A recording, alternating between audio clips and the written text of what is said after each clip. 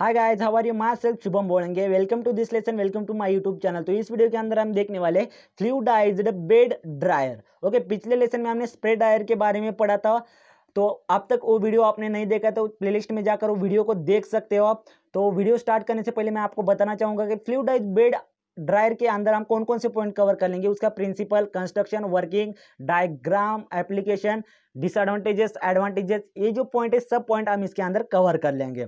Okay? तो अब तक आपने हमारे यूट्यूब चैनल को सब्सक्राइब नहीं किया तो प्लीज़ ज़रूर सब्सक्राइब करना, बिकॉज़ हम जब भी वीडियो अपलोड करेंगे तो उसकी नोटिफिकेशन पहले आपको मिलेगी और आप इजिली हमारी वीडियो देख सकते हो। तो फ्रेंड्स, वीडियो स्टार्ट करते चलो, इसके अंदर आपको शॉर्ट नोट्स भी अवेलेबल कर दिया जाएगा। वेरी सिंपल नोट्स है फ्रेंड्स, आपको पसंद आएँगी, पसंद ज़रूर आएगी।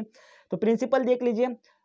Fluidizer bed dryer. इसका प्रिंसिपल देख लीजिए, hot air through bed granules granules lifted from bottom and suspended in air fluidizer state. Okay तो यह, यहाँ पर क्या कहता है? जो भी फ्लूडाइजर तो यहाँ पर एक बेड प्रेजेंट होता है, बेड की तरह प्रेजेंट होता है, फ्रेंड्स। इसके ऊपर हम ग्रैन्यूल्स, यहाँ पर ग्रैन्यूल प्रेजेंट हो गए जो भी हमको ड्राई करना है, वो ग्रैन्यूल्स यहाँ पर प्रेजेंट हो गए तो जब ये गर्म हो जाएगा, बेड बेड गर्म होने के बाद क्या होगा, जो भी ग्रैन्यूल्स होंगे वो लिफ्टेड हो जाएँगे। ओके बॉटम से ऊपर की तरफ़ एक ग्रैन्यूल्स लिफ्ट हो जाएँगे मतलब ऊपर की तरफ़ जाएँगे। ओके, उसी को हम फ्लूडाइज्ड स्टेट बोलते हैं। ये होगा इसका प्रिंसिपल। कंस्ट्रक्शन देख लीजिए, यहाँ पर कंस्ट्रक्शन क्या कहता है? फ्लूडाइज्ड ब्रेड ड्रायर कैसा होता है? स्टील और प्लास्टिक का होता है। ओके, स्टील और प्लास्टिक का होता है, प्लास्टिक का होता है। डिटेचेबल बाउल, वहाँ पर ब्लाउ, बाउल भी प्रेजेंट होता है। Perforated bottom with wire mesh support material.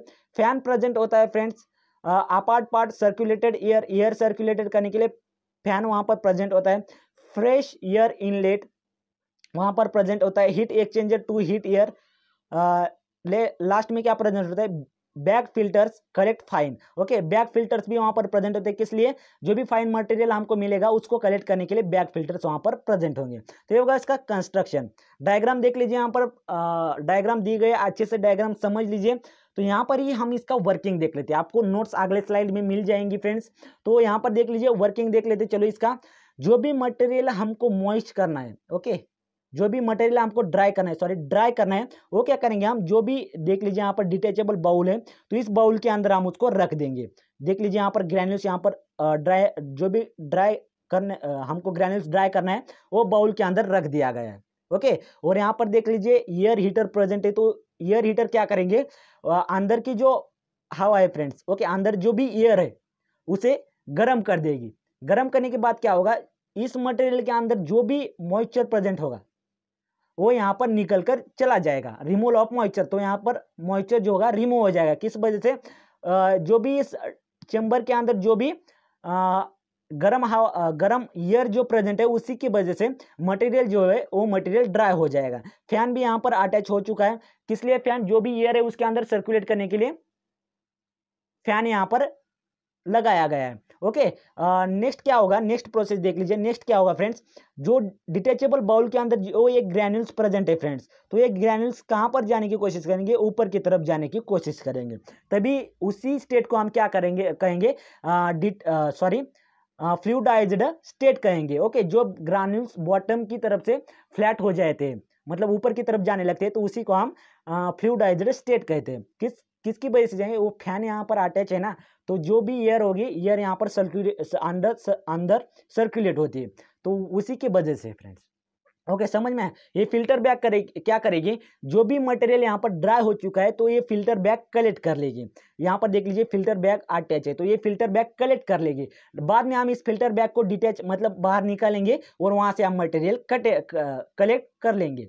Okay friends समझ में आया? वहाँ से मटेरियल कलेक्ट कर लेंगे तो देख लीजिए यहाँ पर, उसका वर्किंग यहाँ पर दिया गया मटेरियल लोडेड मटेरियल किसके अंदर रखेंगे हम? डिटेचेबल बाउल के अंदर रखेंगे।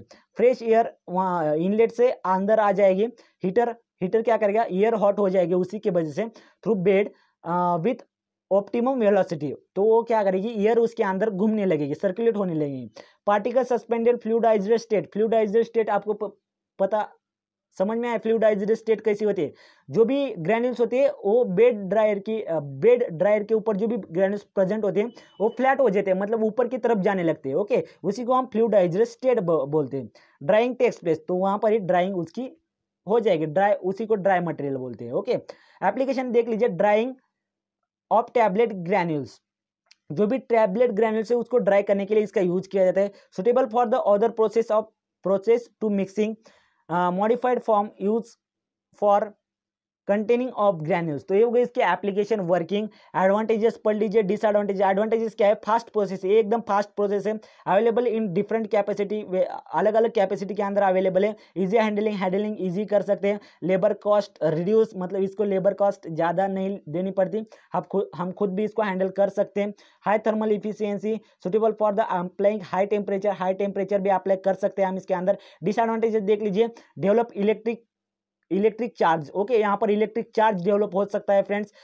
एट्रिशन में ऑकर एट्रिशन भी यहाँ पर ऑकर हो सकता है। आई फ्रेंड्स, आप सभी को फ्लूडाइज बेड ड्रायर पसंद आया होगा। इसके अंदर कोई डाउट या प्रॉब्लम तो हमें कमेंट सेक्शन में ज़रूर बताना। तो मिलते हैं नेक्स्ट वीडियो में नेक्स्ट इंटरेस्टिंग टॉपिक के साथ। फ़िलहाल इस वीडियो के अंदर इतना ही। Thank you so much